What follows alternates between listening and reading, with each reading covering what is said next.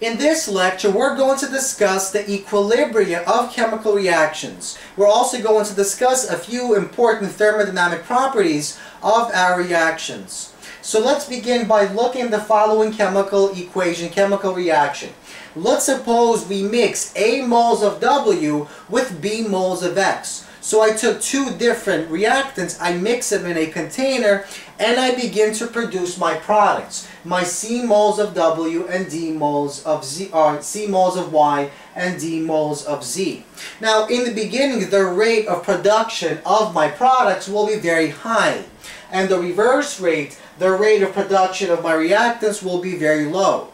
Now, as time progresses, the rate of the forward will decrease and the rate of the reverse will increase until the two rates are equal. At this point, our equation, our reaction, has achieved equilibrium. At equilibrium, the two reactions, the two rates are equal. So my forward rate is equal to my reverse rate. And this is known as chemical equilibrium.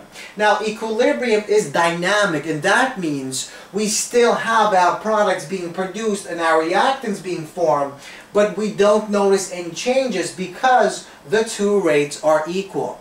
Now at equilibrium we can use something known as the equilibrium constant given by the letter K to see how far to the left or how far to the right our equilibrium lies. And this is given by the ratio of the concentrations of products and dividing that by the ratio of concentration of reactants. So K is equal to the concentration of y to the c power, where c is our coefficient number of moles of y, multiplied by the concentration of our z product to the d power, divided by the concentration of w to the a power, and the concentration of x to the b power. So this gives me uh, information about how far to the right to our product side does equilibrium lie. In other words, at equilibrium, we can measure the equilibrium constant K, which gives us the ratio of products to the reactants. In other words, if our products are much more stable than our reactants, that means our equilibrium will lie to this side and our K will be greater than 1. Remember, when K is equal to 1, that means the ratio of products is equal to ratio of the reactants. When K is greater than 1, that means we have much more of our products than our reactants. So that means this side is more stable. But what exactly is the relationship between our energy of the starting materials and the products and our equilibrium constant?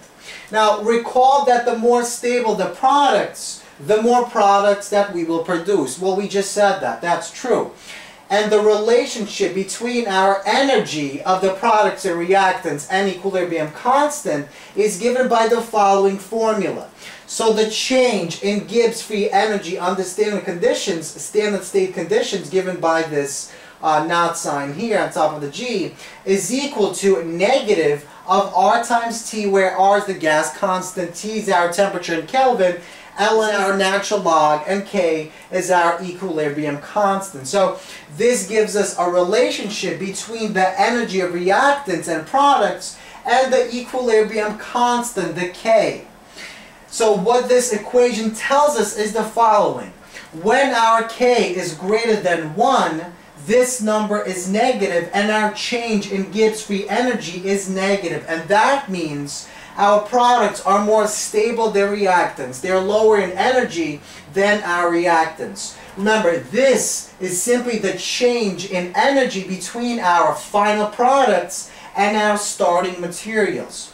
So for example, if we draw our energy diagram for some reaction, let's say this reaction, and this is our starting materials, our reactants and products, notice how the products are lower in energy than our reactants, and that means the change is negative. So if we take a smaller number and then minus a larger number, we get a neg negative value. So that means our products are more stable, and, and so our K will be greater than 1. Now, a lot of the times, whenever we draw this energy diagram, we either use change in Gibbs free energy or change in enthalpy.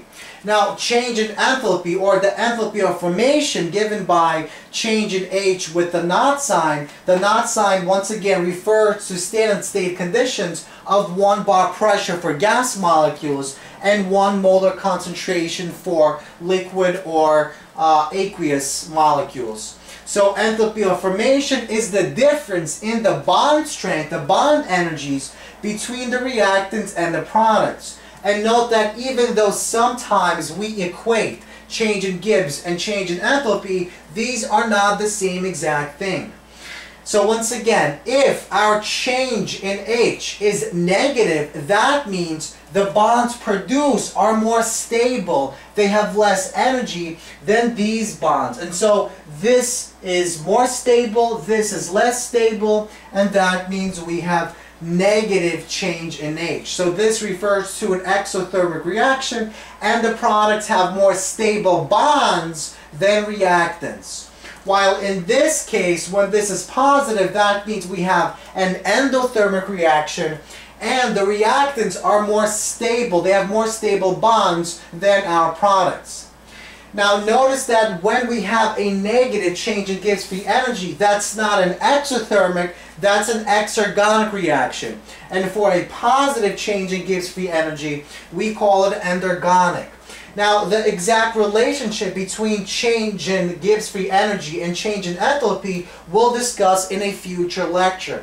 But you should know that these two things are not the same things even though sometimes we use the change Gibbs free energy on the y-axis and sometimes we use the change H on our y-axis. So in this case we have the following reaction in which A becomes B then becomes C and becomes D. So notice that this is no longer change in Gibbs, this is change in enthalpy. So that means when we go A to D, there is a negative change in our enthalpy. So that means the bonds produced here are more stable than the bonds in A. Notice also that when we go from A to B, our change in H is positive. But as long as the overall change in H is negative, this reaction will be very likely to proceed. Even though we have an endothermic reaction here, our overall reaction is exothermic, and that means A will be very likely to produce D. In other words, as long as we have enough energy to overcome this relatively high activation energy, as long as we can produce some of B, B will produce C and C will produce D, and according to Le Chatelier's principle, as we decrease B to produce C and D, A will keep on producing B, and so eventually a lot of the A will be converted to our final products D.